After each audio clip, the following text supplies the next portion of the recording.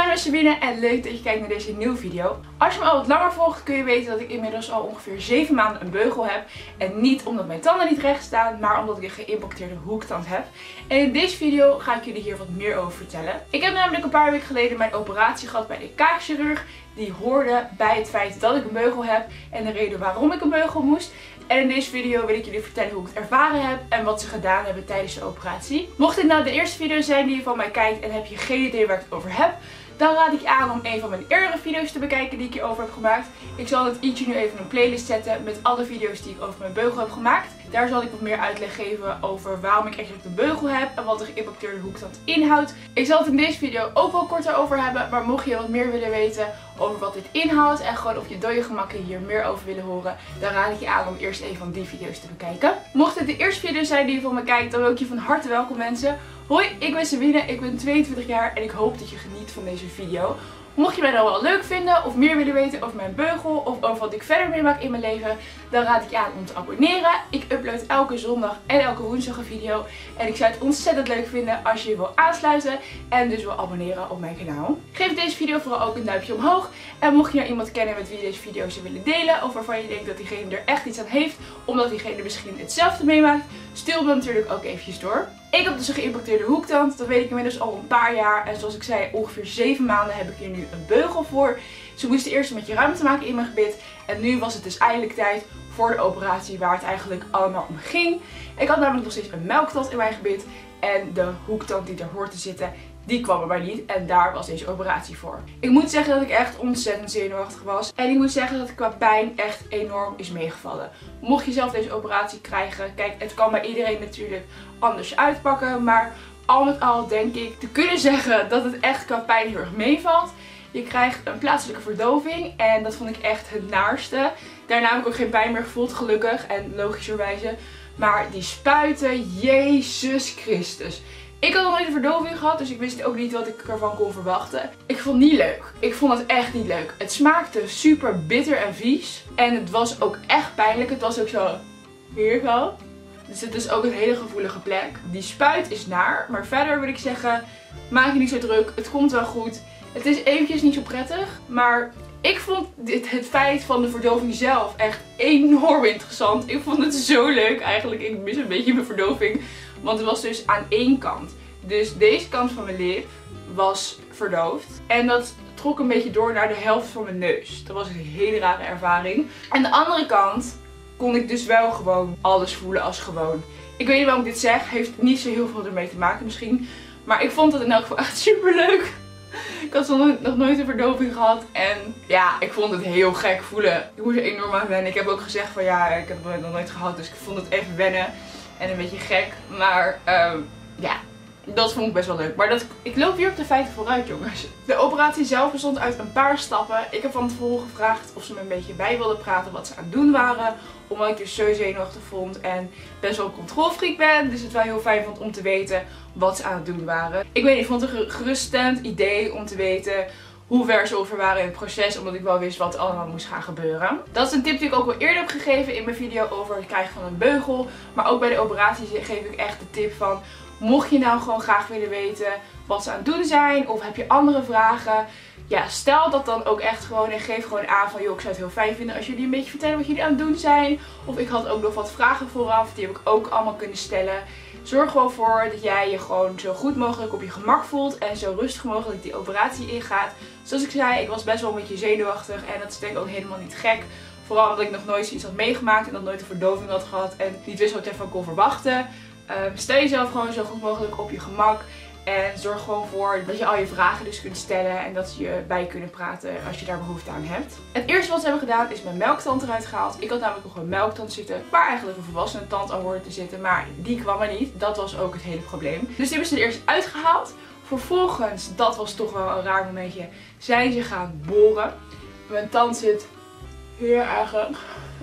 Ze zeiden ook dat dat onhandig is. Soms dan kunnen ze gewoon hier zo volgens mij zo boren. Maar bij mij is dat helemaal zo achter. Dus moesten ze daar boren. En zoals ik zei, je voelt er helemaal niks van. Maar het is wel heel raar, want je hoort hem gewoon boren in je mond. Ik vond dat erg vreemd, maar niet te lang bij stilstaan. Het is gek. Je voelt het niet. Soms, weet je wat je wel voelt trouwens? Dat ben ik vergeten te zeggen. Je voelt de druk. Want ze zitten echt wel te duwen, zeg maar. En die druk voel je wel een beetje. Dat is vervelend, maar echt pijnlijk zou ik het niet noemen. Ze gaan dus boren, wat inhoudt dat ze vlees een beetje wegsnijden volgens mij.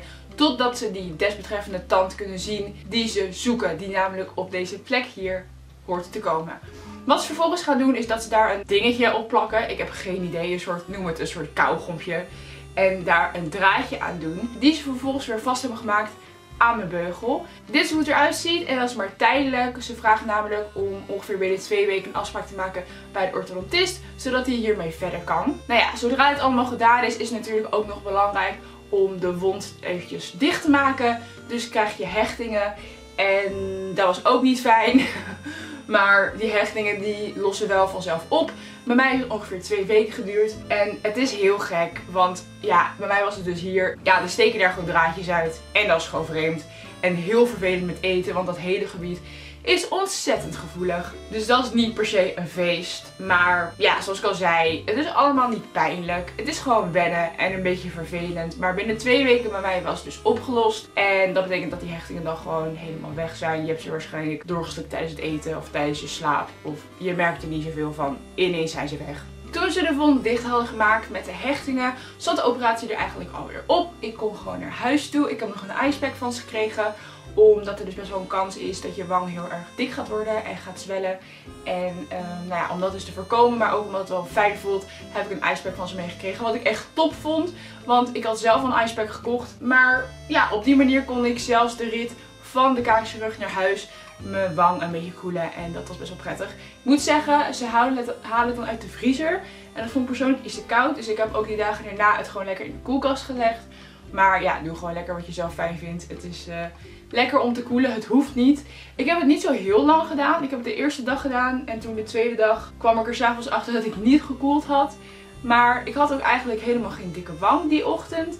En niet echt last van. Dus daardoor was ik het eigenlijk een beetje vergeten. Ja, mijn wang is eigenlijk nooit opgezwollen. Ze zeggen dat dat kan gebeuren, best wel een kans is. Bij mij is dat niet gebeurd. Ik heb er sowieso echt bizar weinig last van gehad. Voordat de operatie zelf plaatsvindt, heeft er een consultafspraak plaatsgevonden.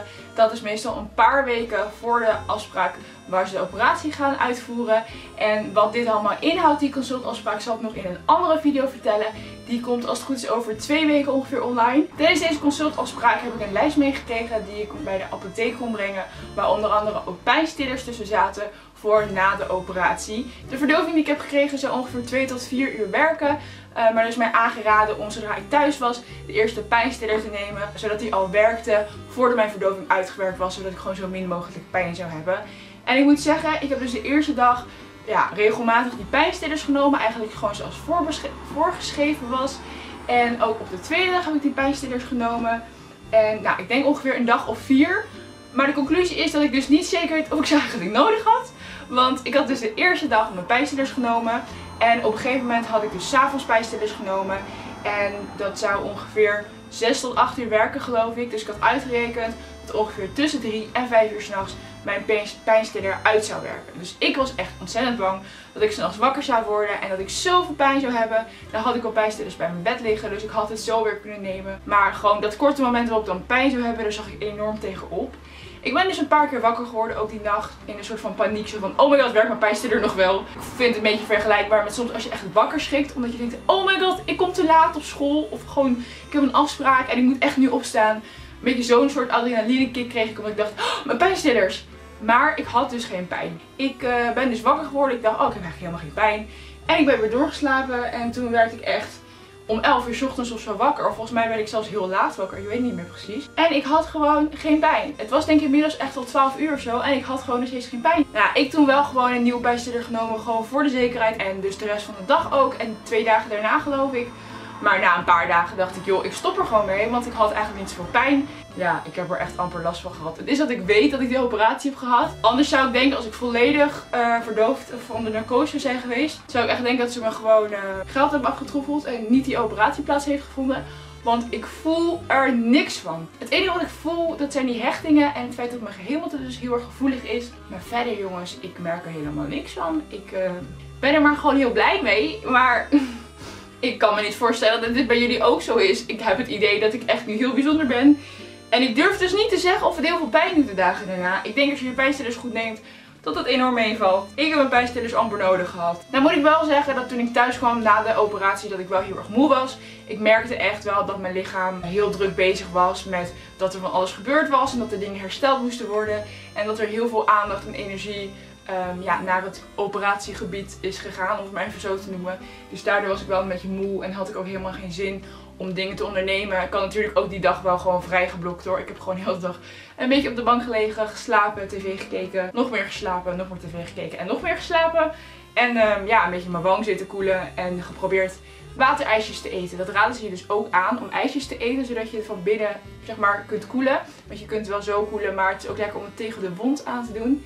Ik vond helemaal niks. Ik vond het veel te koud. Maar goed, misschien vind jij het wel fijn. Dus bij deze een gratis tip. Maar ik vond het niks. Wat ik wel leuk vond was toen mijn verdoving nog werkte en ik thuis was. En ik iets wilde drinken. Mijn moeder kwam met het grandioze idee om dat met een rietje te doen. Ik vond het interessant en een beetje tricky. Omdat ik toch bang was om tegen die wond aan te prikken. Maar goed, gewoon heel voorzichtig gedaan. En dat ging wel. Maar de ene kant van mijn mond was dus al verdoofd en de andere kant niet. Dus ik zat met dat rietje echt zo hier in een hoekje in mijn mond.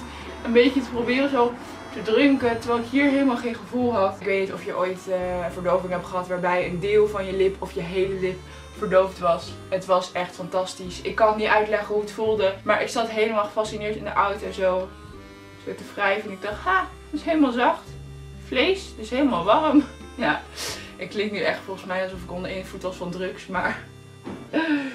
Ach jongens, dat vond ik echt zo grappig. Ik had het nooit verdoving gehad, oké? Ik zat echt zo, hey, oh, lekker. Oh, dat was zo leuk. Wat ik helemaal vergeten ben om te vertellen is het eten.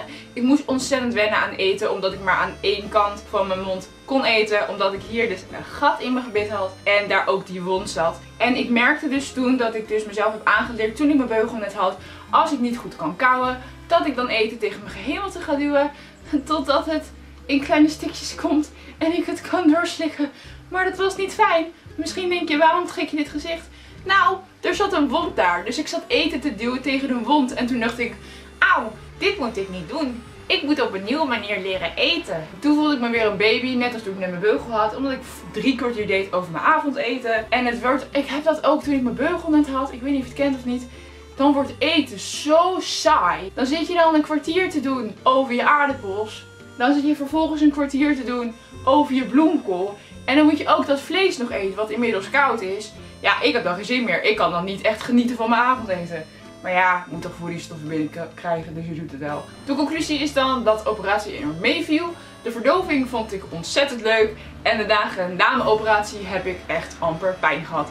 Wat me ontzettend meeviel. En ik haast niet geloof dat dat zo gebeurd is. Na deze operatie en na die twee weken ongeveer herstellen en wennen aan hoe je moet eten en hechtingen die loslaten was het nog niet helemaal afgelopen. Want ik had ook nog een afspraak staan bij de orthodontist die verder zou gaan met dat draadje wat in mijn mond is geflanst. Daarover ga ik meer vertellen in een andere video die over een week online komt. Mocht je benieuwd zijn wat deze afspraak bij de orthodontist inhoudt, dus wat ze gaan doen en wederom hoe ik het ervaren heb. Abonneer dan vooral en klik ook op het belletje zodat je deze video niet mist. Ook zal er nog een video komen over de consultafspraak bij de kaakchirurg. En zullen natuurlijk allemaal andere leuke video's op mijn kanaal verschijnen. Dus abonneer vooral, zet dat belletje aan. En ik hoop dat je ontzettend van deze video hebt genoten. En dat ik je aanstaande zondag weer terugzie bij een nieuwe video. Tot dan! Bye bye.